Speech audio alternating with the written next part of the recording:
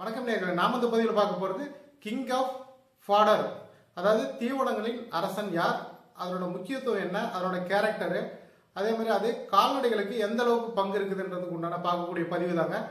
இந்த வீடியோ வந்து ஒரு புது வீடியோ. இதை நீங்கள் ஸ்கிப் பண்ணாத கண்டினியூவாக பாருங்கள் இதில் எகிப்தியன் குளோவர் பெர்சிம். அதாவது இது ரெண்டு பே- பேர் இருக்குங்க. அதாவது பெர்சிம் எகிப்தியன் குளோவர் இது ரெண்டு தான் இது அதாவது இந்த பயிர் தான் வந்து கிங் ஆஃப் ஃபாடர் இப்போ இதனோட சயின்டிஃபிக் நேம் என்னன்னா ட்ரைஃபோலியம் அலெக்சாண்ட்ரியம் ஸோ இது ஒரு லெகிம் கிராப் தாங்க. இது குதிரை மசால் பார்த்தீங்கன்னா கிட்டத்தட்ட இந்த ரெண்டு பயிரும் வந்து சிமிலராக தான் இருக்கும். ஸோ குதிரை மசாலும் பார்த்தீங்க அப்படின்னா அதனோட இலைகள் ட்ரைஃபோலேட் அந்த மூணு இலைகள் கொண்டு தான் இருக்கும் அதனோட நுனியில்.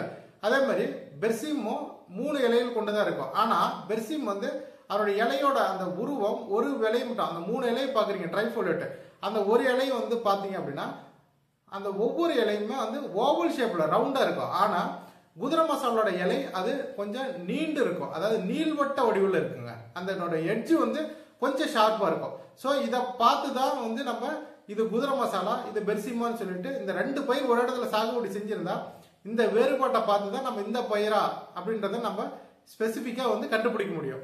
ஸோ இப்போ இந்த இந்த பயிர் பயிரோட முக்கியமான கேரக்டர் என்னன்னா இது குளிர் பிரதேசங்கள்லேயும் வளரும். அதே மாதிரி பிளைனாக இருக்கிற அந்த ஹாட் ஏரியாவிலையும் வந்து கம்ப்ளீட்டாக வருங்க. ஸோ இது எந்த இடத்துலையும் வந்து ஃபெயிலியர் ஆகாத ஒரு பயிர் தாங்க. ஸோ இந்த பெர்சிம் கிராப்பு நீங்கள் கமர்ஷியலாக வந்து எல்லா இடத்துலையுமே நீங்கள் இப்போ ஒரு தென்னந்தோப்புலையும் பண்ணலாம் பிளைனான ஏரியாவிலையும் கல்டிவேஷன் பண்ணலாம். அதே மாதிரி ஹில் ஏரியாவில் எங்கே வேணாலும் நீங்கள் இப்போ கல்டிவேஷன் பண்ணலாம் கண்டினியூ வரும். இது இரண்டு தேவைகள் இருக்குங்க.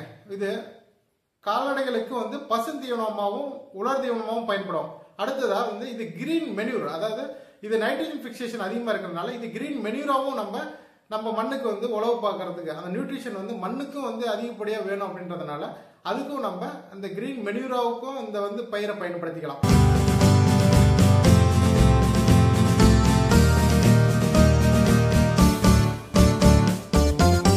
இது கால்நடைகள் முக்கிய பங்கு என்னென்னா இது குதிரைகளுக்கு கொடுக்கலாங்க. அதே மாதிரி கழுதை வெண்பன்றி கோழிகளுக்கு கொடுக்கலாம். அதாவது ஆடு செம்மறியாடு மாடு எருமைகளுக்கு இது வந்து கொஞ்சம் சப்ளிமெண்ட்ரியாக மட்டும் கொடுத்துக்கலாம். ஸோ இது ஒரு இதை வந்து பசந்தி உணமாகவும் பயன்படுத்திக்கலாம். அதே மாதிரி உலர்ந்தி உணமாகவும் பயன்படுத்திக்கலாம்.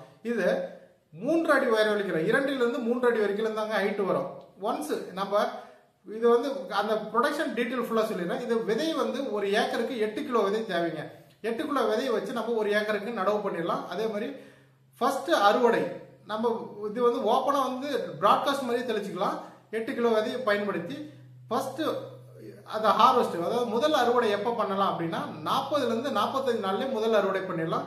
இரண்டாவது அறுவடை அதாவது இது வந்து ஆனுவல் கிராப் இது மல்டிகட் கிராப் தான். ஆனால் ஒரு வருடம் ஃபுல்லாகவே நம்மளுக்கு எட்டு அறுவடை வரைக்கும் நம்ம எடுத்துக்கலாம். இதை நமக்கு இருபத்தஞ்சு நாளைக்கு வரைக்கும் இருபத்தஞ்சு நாளைக்கு ஒரு முறை நம்ம அறுவடை எடுத்துகிட்டே இருக்கலாம் கண்டினியூவாக ஸோ இதில் வந்து தண்டு ரொம்ப மெலிசாக இருக்கும். இது கண் கட் பண்ணிவிட்டு டைரெக்டாக சேஃப் கட்டில் எதுவும் அடிச்சு கொடுக்காம டைரெக்டாகவே கொடுத்துடலாம். அனிமல்ஸ் வந்து நல்லா லைக் பண்ணி சாப்பிடும் இதில் புரோட்டீன் கண்டென்ட் புரதச்சத்து வந்து பதினெட்டுலேருந்து இருபது பர்சன்ட் அளவுக்கு புரதச்சத்து இருக்குங்க. அதே மாதிரி ஃபைபர் கண்டென்ட் இருபத்தஞ்சு பர்சன்ட் அளவுக்கு இப்போ இதெல்லாம் ப்ரெசென்ட் ஆயிருக்குது ஸோ இதில் அந்த செரிமானத்துக்கு எந்த ஒரு பிரச்சனையும் வராது. அதே மாதிரி இதை ஒரு நாளைக்கு ஒரு டைம் நம்ம கால்நடைகளுக்கு பயன்படுத்தலாம். இதனோட விதைகள் பார்த்தீங்க அப்படின்னா நம்மளோட கம்பெனியில் கீழே இருக்கிற வெப்சைட் லிங்க்கில் இருக்கும். இல்லை அப்படின்னா கீழே இருக்கிற அந்த காண்டாக்ட் நம்பருக்கு நீங்கள் காண்டாக்ட் பண்ணி வாட்ஸ்அப் பண்ணி நீங்கள் ஃபாலோ பண்ணி வாங்கிக்கலாம். இதனோட விதைகள் உங்களுக்கு டோர் டெலிவரி எந்த ஏரியாவில் இருந்தாலும் நம்ம பண்ணி கொடுப்போம் கொரியர் மூலமாக அடுத்ததாக இது ஒரு ஏக்கருக்கு இருபத்தஞ்சிலேருந்து முப்பது டன் ஒரு வருஷத்தில் நம்மளுக்கு ஈல்டு கிடைச்சிடும் அதாவது ஒரு சைக்கிளுக்குன்றது ஒரு வருஷம் தாங்க. அதாவது ஒரு வருஷத்துக்கு வந்து மட்டும்தான் இந்த ஈல்டு வந்துடும் இப்போ இது செல்சீனிங் கெப்பாசிட்டி இருக்குது. இதனோட பூ பார்த்தீங்க அப்படின்னா மூணு டைப்ல இருக்குங்க. அதாவது வெள்ளை கலர்ல இருக்கும் மஞ்சள் கலர்லயும் இருக்கும் அதே மாதிரி பிங்க் கலர்லயும் இருக்கும். யூஸ்வலா வந்து குதிரை மசாலுக்கு பிங்க் கலர் தான் இருக்கும். ஆனா சப்ஸ்பீசிஸ் வந்து விவசாயிகளுக்கு ஒன்றும் ஒரு பெரிய பிரச்சனை கிடையாதுங்க. நீங்கள் எந்த இதனாலும் சரி நீங்கள் ப்ராட்காஸ்ட் பண்ணி தெளித்து நீங்கள் நடவு பண்ணிக்கலாம். அதில் வர ஈல்டு அப்படின்னா எல்லாமே வந்து காமனாக தாங்க இருக்கும். ஸோ இந்த வேறுபாடு மட்டும் இந்த குதிரை மசாலுக்கும் பெர்சிமுக்கு உண்டான வேறுபாடை மட்டும் நீங்கள் பார்த்து பயிரிட்டுக்கிறது ரொம்ப முக்கியம். அதே மாதிரி இதை நீங்கள் ப்ராட்காஸ்ட் வழியாக தெளிச்சிங்க அப்படின்னா உங்களுக்கு எட்டு கிலோ ஒம்பது கிலோ அளவுக்கு தேவைப்படுங்க.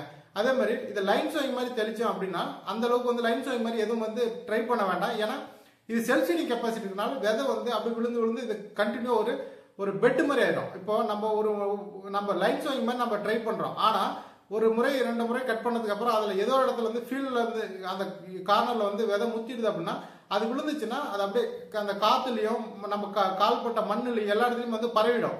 ஸோ அந்த மாதிரி பரவும் போது இது நமக்கு எல்லா இடமும் வந்து நம்ம லைட் சோயிங் போட்டது போட்ட மாதிரி இருக்காது. அது எல்லா ஏரியாவுமே அந்த விதை வந்து கவர் ஆயிடும். ஸோ அது ஒரு ட்ரஃப் மாதிரி ரெடி ஆகிக்கும் இதை நீங்க நடவு பண்ணும்போது முக்கியமாக கவனிக்கிறது என்னன்னா விதை நேர்த்தி எதுவும் பண்ணக்கூடாது. ஆனா இதுல கடுகோட விதையை கொஞ்சம் தெளிவு கலந்து அதாவது ஒரு கிலோ விதைக்கு நீங்கள் நூறு கிராம் அளவுக்கு கடுகோட விதையை கடுகு வந்து நீங்கள் கலந்து அதுக்கப்புறம் நீங்கள் ப்ராப்பராக நல்லா கலந்ததுக்கப்புறம் ப்ராட்காஸ்ட் பண்ணிக்கோங்க. ஏன் அப்படின்னா அது அந்த ஒரு அந்த ஒரு ஒரு அந்த ஒரு ட்ரஃப் மாதிரி கிரியேட் ஆகும். ஸோ எல்லா இடத்துலையும் வந்து ஒரு யூனிஃபார்மாக அது ஈக்குவலாக ஒரு பேலன்ஸ் ஆகிக்கும் ட்ரஃப் மாதிரி ஆகும். ஒரு நம்ம நம்மளால வந்து நம்ம ஃபீல்டில் வந்து கலை இருக்குங்க. இந்த கலையை எப்படி கண்ட்ரோல் பண்ணலாம் அப்படின்னு நீங்கள் யோசிப்பீங்க. அப்போ நீங்கள் இந்த இந்த பயிரை வந்து நீங்கள் ஒரு ஏக்கருக்கு பதினஞ்சு கிலோ வந்து இந்த விதையை நீங்கள் தெளிச்சு விட்ருங்க விதையை தெளிச்சு விட்டும் போது இது அது உழவு பார்த்த போது அப்படியே தெளிச்சிருங்க. தெளிச்சு விட்டதுக்கப்புறம் களையும் வந்து வர ஆரம்பிக்கும். ஆனால் இது வந்து ஒரு ரேஞ்சுக்கு மேலே மூணு அடி ரெண்டு அடி உயரத்துக்கு நீ இது வரும்போது கீழே இருக்கிற களையெல்லாம் அந்த நிழல் அடித்து அது பட்டு போகிறதுக்கு உண்டான வாய்ப்பு இருக்குது. ஸோ இது வந்து ஒரு கவரிங் கிராப்னு சொல்லலாம். ஸோ இந்த பயிரை வந்து நீங்கள் கால்நடைகளுக்கு சப்ளிமெண்ட்ரி நீங்கள் கொடுத்துக்கலாம். இது ஒரு நல்ல ஒரு பசுந்தீவனம் தான். இது நீங்க பசுந்தீவனமாகவும் பயன்படுத்திக்கலாம் உலர்தீனமாகவும் பயன்படுத்திக்கலாம். ஸோ இதை நீங்க பயிரிட்டு இது எப்படி எல்லாம் வந்து பயிரிடணும் எந்த மாதிரி டீட்டெயில்ன்றது நான் கிளியரா சொல்லிட்டேன். நீங்க இதை பார்த்து நீங்க ஃபாலோ பண்ணி அடுத்தடுத்தது நீங்க பயிரிட்டு பயன்பெறுங்க. நன்றி நேர்களே